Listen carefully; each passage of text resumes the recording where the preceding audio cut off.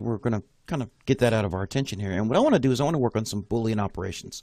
So as I mentioned before, that's basically taking primitive geometric forms, put them together, laying them however you want to look at it. You know, you can lay them on top of each other, you can extrude them, bring them together, separate the faces. But taking those simple forms and breaking those down in a way into volumes, but using them to create more complex forms. So let's try it real quick. So there's two ways um, that I think are pretty helpful about going about doing it. So the first thing we can do is I'm just going to use my rectangle tool and I'm going to draw my first rectangle here. And I'm going to type in 100 feet, comma, 100 feet. That gives me my uh, two main directions for this particular square. I'll hit enter and it should give me a 100 foot by 100 foot square. So before I do anything else or any kind of uh, rotating or anything, I'm going to go ahead and click on this. I'm going to double click it. And what that'll do is it'll select the face and the edges. And like we did in our previous lesson, I'm going to right click and I'm just going to make this a group. That easy. So then I'm going to get my next uh, primitive form here. Let's say we wanted to add an entrance to the corner of this particular building, and we're going to do it with a polygon. So I can come to this corner, I can draw this in now, and I just need to tell them uh, what kind of a radius we want. Let's say we want 25 foot radius. It's going to be a pretty big entrance there. So now I'm going to double click on it, getting the face and all its edges highlighted. We'll right click. We'll make that a group. So now what we could do is we can extrude each one of these, you know, and they're going to basically behave independently because they're separate groups. So if you wanted to extrude this particular element, I'll double click on it. Go to push pull and we can move that up, we'll say 25 feet. And that's just for the entrance. And then we could do the same thing here on this side and I want to extrude or push pull this 20 feet. So I want that entrance to be just a little bit larger. And I want my model, my basic model, to show that this will actually be roofed around here. So there'll actually be a certain way that these pieces of geometry actually connect here. So how do I go about doing that? So if we take a look at it now, you can see there's no straight line. And how I know that this geometry is connected properly is we'd actually see a nice hard dark line going in here. So basically it's just two components kind of blended together. Now if we changed our view and we went changed our face style to an x-ray style, you can basically see what I'm talking about here. So it's two different forms just basically set together. And I don't know if you can tell here, but this area here, the more visible dark line, if I rotate around, you can see that's the area that's visible. And then there's this area where that line actually kind of grays out, and that's because it actually goes inside this geometry. That area where it goes from hard dark line to that gray line, there's an intersection right there. So I'll kind of go with this uh, tool here and I'll show you what I'm talking about. We snap in place and there's an intersection. That's where our two groups intersect. And what we want to do is we want to actually bring these together so that the faces connect and that there's hard lines in place so we can manipulate how these things are connected and not just go with some real basic vague two pieces of geometry plopped together. We want to show how it's connected, how the spaces work with each other. So to do that, as long as we're in groups, all we really need to do is click on one of our elements, right click on it, and you'll see intersect faces. I'm going to do this with model. So I'm going to click with model. And when I do that, those lines I mentioned to you appear. So now we have these hard lines that actually show how this geometry is connected. And what it did, essentially, it created faces I can now edit to create this to be how I want it to be. So essentially, my goal for this particular little design here is I want to have my entrance, but I want this to actually be carved out within that entrance. I'll show you what I'm talking about here. So now that we have some lines and some additional faces and edges in place, I can come in here and I can double click on the one I want to change and I can erase anything I don't need. So right now I can actually probably come in here, we'll double click on this guy and see if there's anything we can erase. It might actually work better in an x-ray view, so we'll go to view. Let's change our face style to actually wireframe. And now I can come in here and erase any geometry that I don't think I'm going to need. Because I can double click on this element and let's say I want to get rid of this area here. I want this to actually carve into my square. Well, I want to click on this line, but if I highlight this line and I want to get rid of this segment, the point where this intersects, I can't do it because it's all one line. So really the only, there's a trick or workaround around for that is grab your line, go from this point to the point you want to delete, and draw in that segment. And you'll notice that color appears there. So now we have this line and then this line segment. And this portion is the one we wanted to delete. So I can go ahead and erase that and it won't affect the geometry I had in place for my rectangle. So if I want to do the same thing here, I want to carve this out, I'll go to my pen tool, I'll go from this end to that end, and we'll erase that segment. You see how that works? So I can go ahead and get rid of this one here as well, although that might be a column if we're working with it structurally, but that might come up a little bit later. So now I want to go ahead and get rid of these, the line work that's down here as well. So let's see if I can see it. There's a segment not there, that's good. But there is a segment here I want to get rid of. So I'm going to go ahead and draw that in. So we'll go from here to there. And you'll see I have a black line, blue line, which lets me know I have two different segments. So I can erase this line, and I can now clean out that geometry. So if I go ahead and click out of here, and let's say I went back to my x-ray view, go to view, change our face style to textures, and x-ray, you can now see that this is actually carved into my square here. So it's pretty pretty easy stuff, pretty simple, pretty straightforward as well. So that's one way we can actually do that. So the trick is getting your geometry in place, making sure there are groups, but then, you know, once you have it selected, right-clicking, going to intersect faces, and you want to intersect with model. Now there's a much simpler way to actually work with this, and if you kind of think about things beforehand, before you're doing your extrusions. So I could take the same concept, cut out a couple of steps, and pretty much get the similar result. So I can go, we'll go rectangle, draw my rectangle, we'll say 100 feet, comma 100 feet. We'll grab our polygon, go with the same radius here, we'll say 25, actually before we do that, scroll in here, go to the center point, we'll say 25 feet, and now what we have here, because SketchUp works with surfaces, because we drew these two and they're overlapping, so we don't just have one rectangular surface and one polygon surface, we now have this surface, this surface, and this surface. So if I wanted this to carve into my square, I can just simply come in here, erase that, come in here, erase that, and now I can extrude these. if I wanted to, or we could double click on it. Let's do that. Let's double click on it, group it, double click this one, group it, and now we can extrude it and we'll get the same desired effect we were trying to get before. So we'll double click this one, go to push pull, 20 feet. I'll come to this one here, double click it, push pull, we'll do 20 feet as well. well actually, I think that was 25 feet. So I'll add, add an additional 5 on there. So now what we have is pretty much the same effect, but this one's a little bit cleaner. Um, we have some additional line work here, but not a problem. We can actually come in here and get rid of this extraneous line work. Now I'm going to keep this one because this one will actually define my edge. So we'll want to keep this line, but we really didn't need that one. But you could see, do the same thing on this side here. So doing it the, second way is pretty fairly straightforward if you understand how the surfaces work and the portions of your geometry and you also break it up in groups. But you have two ways of going about doing it. You could just simply draw, draw geometry together, plop them together, and then you know uh, erase whatever lines you want to create whatever face. Or you could use the right click option and just intersect your faces manually uh, like we did here. Uh, pretty much get the same result from each one. Um, maybe a couple of little extra clicks for the other, uh, but I find that the effect is the same.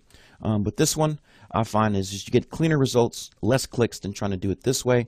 There's a lot of guesswork involved, kind of thinking about which face is intersecting and how am I going to get rid of this line, and you got to draw double lines. But you have two options of going about doing it. So I'm excited to be able to show you that. And this is a way we can, again, take simple geometry, bringing it together to create more complex geometry that might be hard to do uh, if we didn't use face intersecting or creating our own little surfaces by uh, adding or deleting edges. So, and that's our Boolean segment here. Pretty short segment, but it's a pretty straightforward concept. So in our next lesson, we're actually going to go over folding and rotating surfaces, and we're going to take a look at some of the cool effects that happen when you work with those options. SketchUp, by definition, your surface has to include a closed loop system of three line segments that are connected at their endpoints. So what that means is if I draw a surface, has to have at least three line segments that connect at a closed loop system. And you know you've created a, surface when you actually draw this in, so everything is snapped, and there, you know your surface is created with a, either a color, a texture, or something is applied to it. So I'm going to switch my view really quick. Right now we're got an X-ray applied to this and I want to see all my surfaces. So I'm going to get rid of that X-ray. But you can see the bare minimum is a triangle. That's all you need to create your surface. So we're going to work with a rectangle, kind of what we've been doing. So this one I'm going to keep it dimensions are the same. We're going to say 100 feet, comma 100 feet. So now that we know what we know about surfaces, the minimum standards for a surface. Let's play around and see how we can manipulate these guys. So I can click on a surface in this case, and I'm just going to get the face. If I double click on it, it's going to give me the face along with these edges. And I can use my move button to move it any position I want to, and it'll maintain its dimension and its shape as long as the entire entity is selected. I can also rotate this thing simply by going to my rotate, and my protractor will automatically appear. So the key with working with the protractor is have your element selected, but hold down your left click button and move it around so you can get it oriented in a way that you want to flip it. So in this case, if I'm holding down my left click button, I can move this to my green axis or whatever axis I want to to uh, go ahead and make that rotation. So I'm going to click, draw my little extension, and I'm going to rotate this up, and I can then rotate the surface either by doing it manually you can see your angles down there at the bottom right of the screen, or I can type in my value. In this case, I'll type in 45, and there we go. Pretty cool stuff, pretty easy stuff as well. So let's Control Z and kind of go back there. So that's working with a simple surface itself. We can rotate it, twist it, uh, we can even distort it by grabbing some of just the endpoints. Well, I can go to move and I can distort this surface simply by grabbing that endpoint and dragging it however I want to. But another great thing about working with surfaces is I can divide this surface and I can also rotate and twist the different surfaces within this one large surface. So essentially, we're creating subsurfaces. So if we used our line tool here, I can click there. And let's say I wanted to come to this point, this midpoint here. I want to create a roof pitch. So essentially a roof, if you think about it, is two surfaces, be this side and this side. And if you wanted to create a pitch for this really easily, all we needed to do is grab this particular edge, go to move, we can grab it wherever we want to, and we can move it up to a specified height. In this case, I know I'm moving up because I'm moving along the blue axis. And if I have an idea about the you know height of my attic or something, or any kind of information like that, I can type in the value. We'll say 20 feet, which might be a little exaggerated. But what we did was we created a pitch. Basically, by grabbing this one line segment that is shared by these two faces, and by moving it up, only that portion of each one of these surfaces moved up, creating a pitch. And then just like anything else, we can come in and uh, push-pull these if you want to to add a thickness. You know, like so, we can create a nice little thickness for our roof. So it's pretty cool, pretty cool stuff. So in addition to grabbing these edges and also grabbing points to do some distortion, we can also rotate these elements as well. So this particular face here, I can go back to my rotate. Again, I'm going to hold this down and I'm going to place this like so. And let's say we wanted to drop this down to where, you know, I don't have a specific value, but we can actually rotate that one particular face. And its shape and its dimensions will stay in place while the other face that's actually attached to the one we're rotating will actually distort and stretch and deform.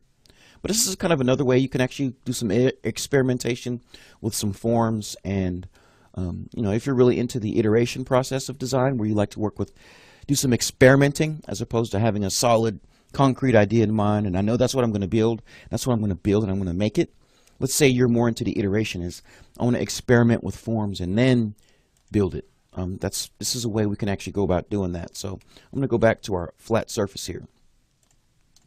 So before we move on to uh, making smoother surfaces, another way you can actually work with surfaces is using your sandbox tools. And to access those, you could simply come up to the top of your uh, UI here, and you can right-click, and we can actually add that particular window uh, to this area. And that's exactly what I did here. I simply did the uh, right-click that we did before, you click on sandbox, it'll bring it up here, and this will bring your sandbox tools.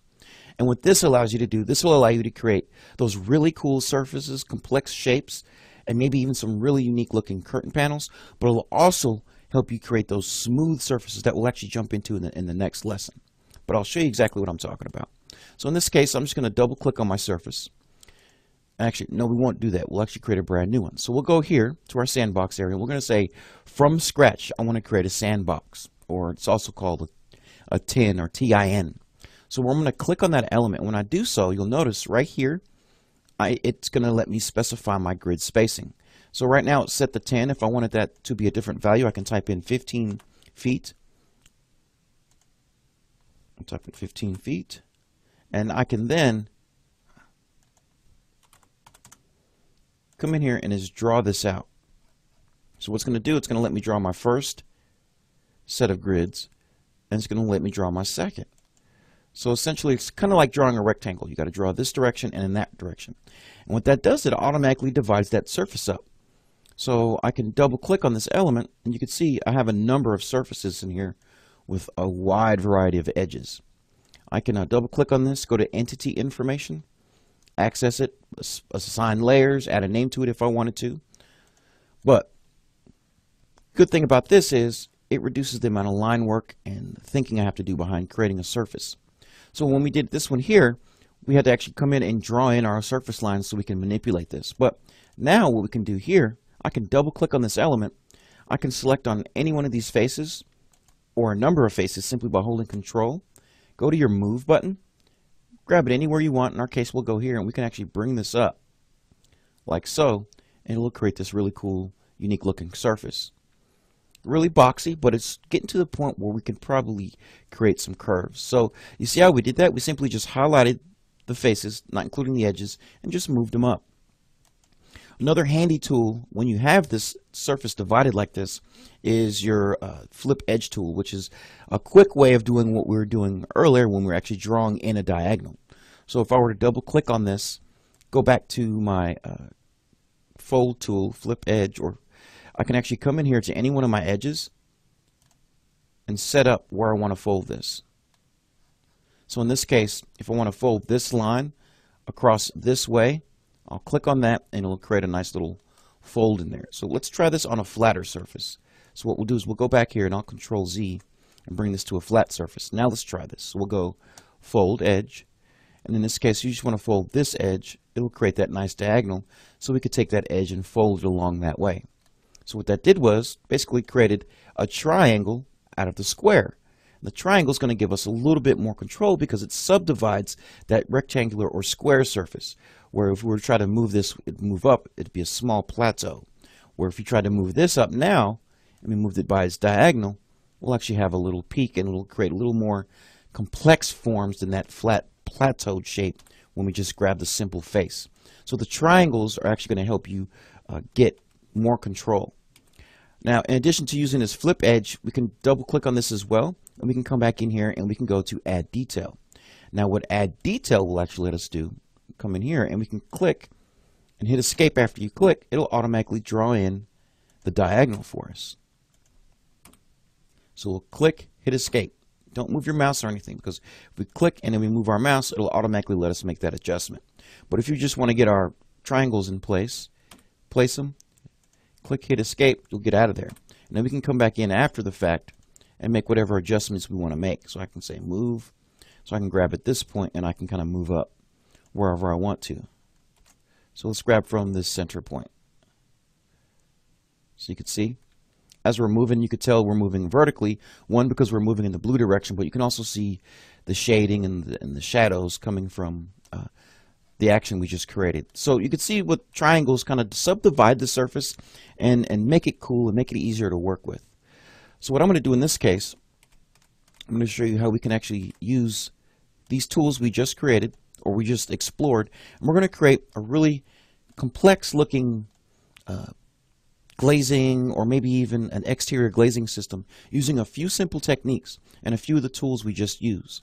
So now that we know how to kind of manipulate, twist, turn, and, and play with these simple surfaces, let's take those same tools, apply what we've kind of been doing throughout this course to create something with that. So I'll meet you in the next lesson where we'll take this surface and buildings are concerned. So we know how to click on this guy, manipulate and play. So let's see what else we can do with this. So what I want to do is I want to use this surface and we're going to use it to create skylights and also some kind of a cool exterior glazing for our buildings here. For both of these maybe. So what I'm going to do here is I'm going to double click on our surface and I want to basically create more intersections, which basically means creating smaller uh, squares and even more triangles. So I can do that either by drawing lines, but I'm going to select my entire surface and I'm come up here to our sandbox tools and I'm going to click add detail and when I do so it'll automatically update this and make this even more refined so we have a little bit more control. So you can see how this is starting to come together. So essentially what we want to do is take one, you know, you can see this is one side of our skylight. This could be the other with a nice little pitch. But to do something really complicated, sometimes we got to make it really simple and then use our, our tools that we have available to us just to simplify things even further and save time. So I'll show you what I mean and don't panic when we do this here. So in order to get our skylight system and our glaze system for our two buildings over here, and there's going to be a set of three, by the way, we're going to actually need to delete most of this here. So I'm going to jump to top view.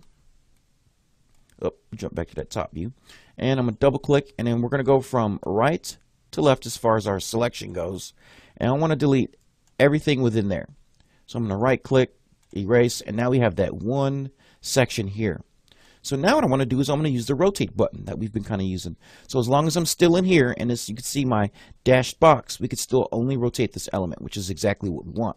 So I'll come in here, rotate, we'll come to this little origin here, hold down your left mouse button, and just kind of move around till you get to that area you want to get to as far as uh, the orientation you want to move it, we want to do it on the red axis. Drag your mouse out, move up. Up. Oh, we got to select the entire thing here.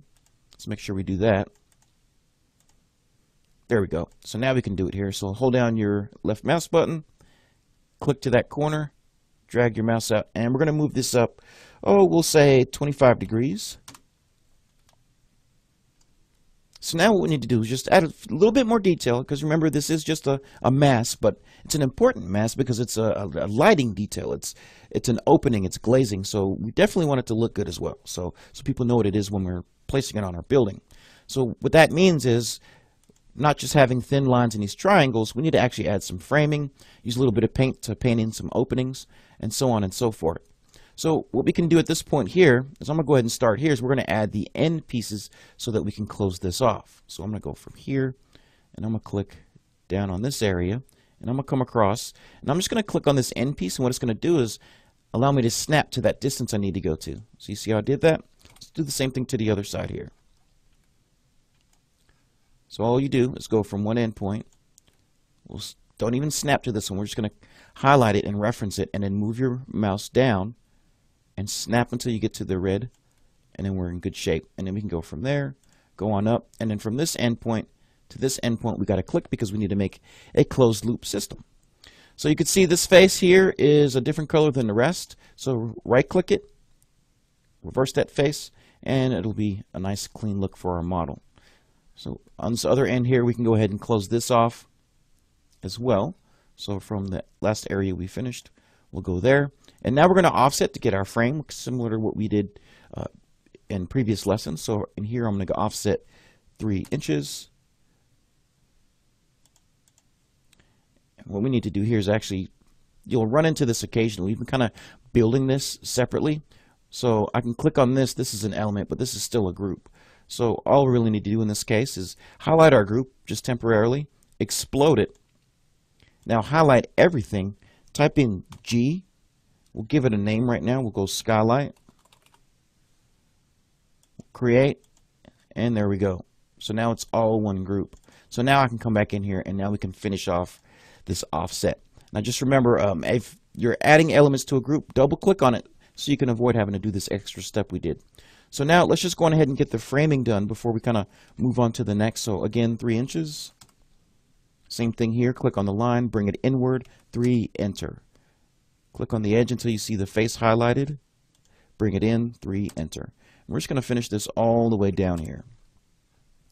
And again, we want to get the main features of this because this is just simply conceptual massing. But, you know, making sure we have where our glass is and where our frame is is going to be very important. It definitely adds that somewhat of a sense of realism, but it makes people understand exactly what that building element is. And it makes your model look good, uh, after all. So again, we're just going to bring this in. I'm almost done here. Come on this end. We'll do three. Three inches again. Bring it in and three. We'll bring it in and three. And let's see, we did it took care of this side. Let's see if we need to take care of this side. Oh, looks like we do. So I'll bring this in three inches as well. So now all we need to do is paint this up, and then in the next lesson we'll go ahead and finish this out. So I'm going to grab my paint bucket, select your blue translucent, and let's just paint in all these areas here that we know Mm, we're going to consider to be our glass panels. So it's that easy. Make sure we get our end pieces, and I think we have one more end piece here. And that takes care of that. And that's that'll just be our first side of our model here. So, you know, we've already have it a group. So now what we can do at this point is I can right click on this and we're going to make this a component. Because what that means is we can then reference this a little bit later and use it for other projects if you wanted to. And I can reference it again throughout this project as well. So we're going to say if it's not already a component, make a component, but it looks like it's already a component. So now really all we need to do is grab it. We'll go Control C, Control V, we'll place it. And I want to show you something really quick.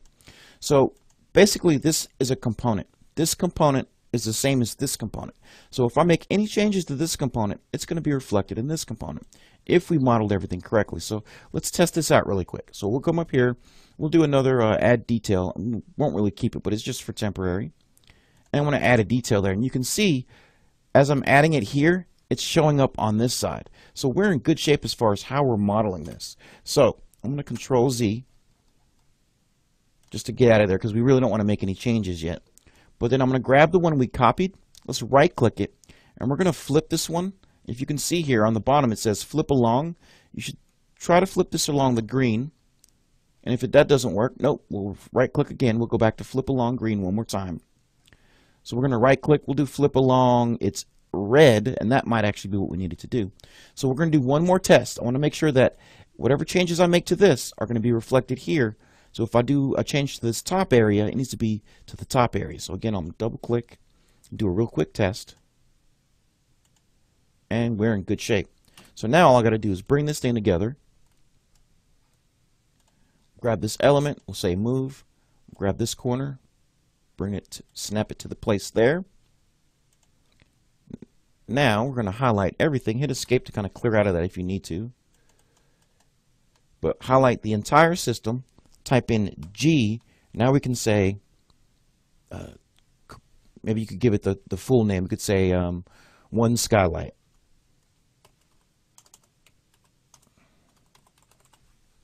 And we could say create. So now we have a skylight in place. So now I want these to be separated, oh, you know, maybe six or seven feet, six inches apart. And this is actually going to be a system. So we have a component for one skylight, but then I want a component for the entire thing as well. So we're going to say 7 feet 6. So now I can grab this. I'll say Control C, Control V. We'll place it here. And we now have two skylights. So we'll do one more time. Go here. We'll move 7 feet 6 inches. 7 feet 6. Control V. And we'll just snap it in place.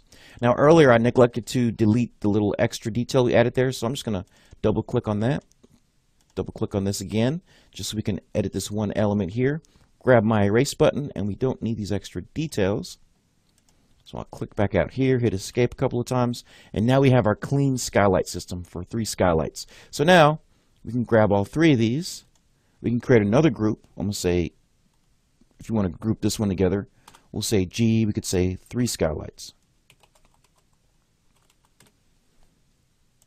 say oh Booyah. So now we can click on this and now it's all grouped as one. So I can now move this on top of my building. So I'm going to grab this on the bottom.